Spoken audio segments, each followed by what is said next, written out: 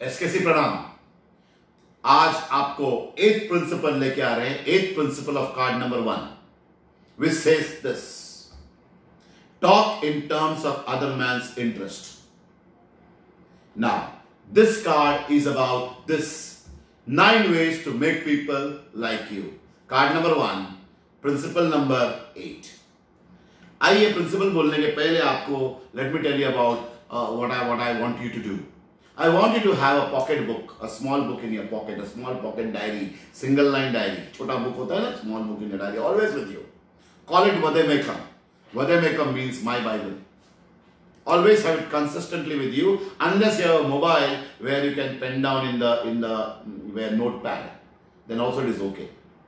Now, आपको क्या करना है इस प्रिंसिपल से जीना है you need to live by this principle I don't say use this principle I say live by this principle And every time you come across a situation where you are going to rule, rule, jump over the rule, you have this golden principle coming automatically to your mind.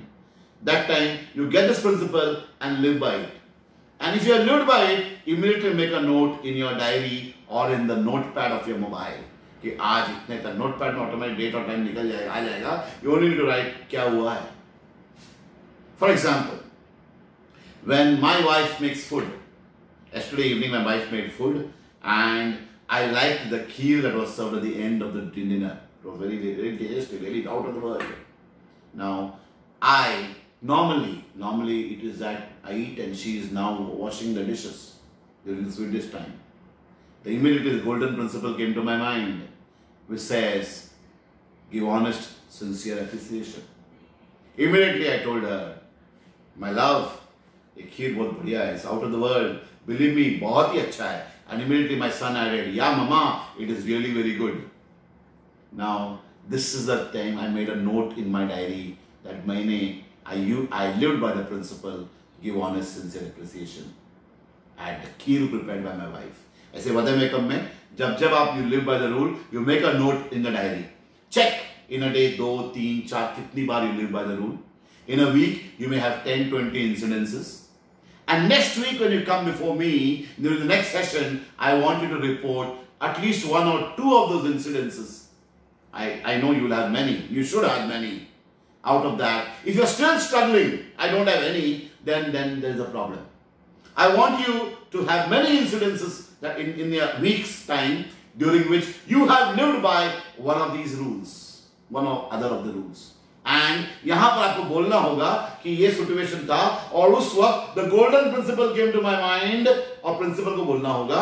And then in this way I live by the rule और आपको rule बोलना होगा।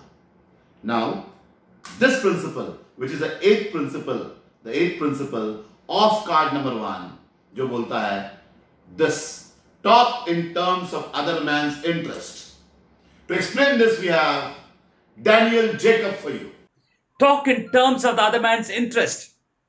Having listened to the person. Now it's your time to talk.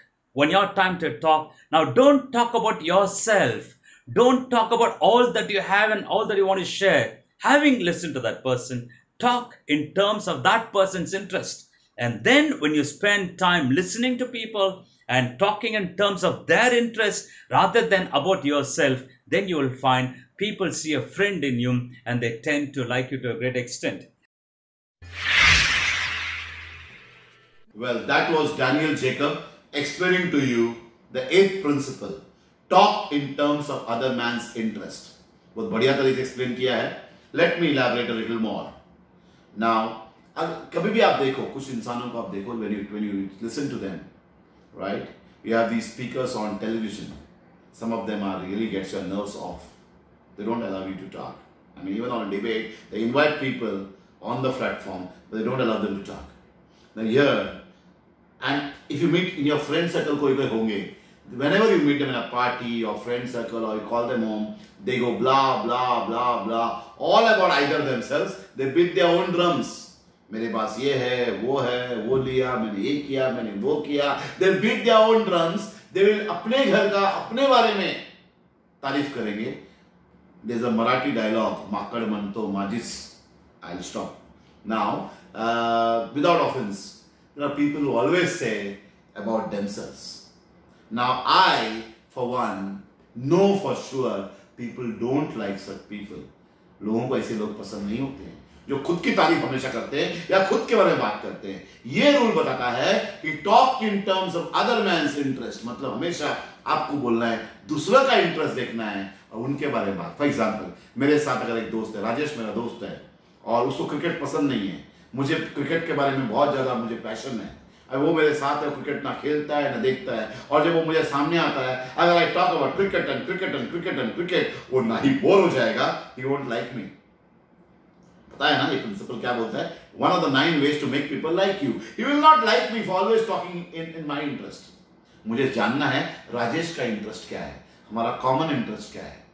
Rajesh is a food lover he likes to eat so whenever he meet one of the major major topics is Rajesh एक नया restaurant में गया था और वहां का खाना मुझे अच्छा बढ़िया लगा he immediately asked me किधर खाओ then I explained what did I eat where the restaurant is how is the pricing how is the menu how is the ambience and he is involved in my decision it says talk in terms of other man's interest don't beat your own drums don't only talk about yourself Now whenever i go to the business meeting मुझे कुछ business meeting करना है मुझे कुछ business deal करना है and i'm across one i always find out कि जिसको मैं मिलने जा रहा हूँ उसका इंटरेस्ट क्या है always find out. I, one incident when I had to brag a government contract.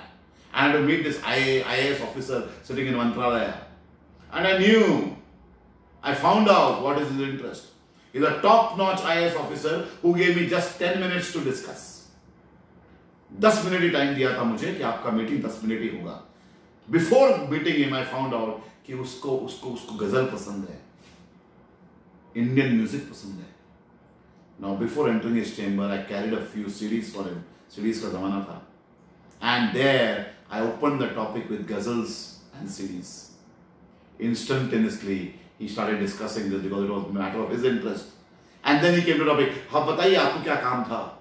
And unless asked, I didn't come to the topic. He asked me the topic, and I told him मेरा क्या काम है. And there, he ordered for the file immediately, and he said, "Done, मैं कर दूँगा."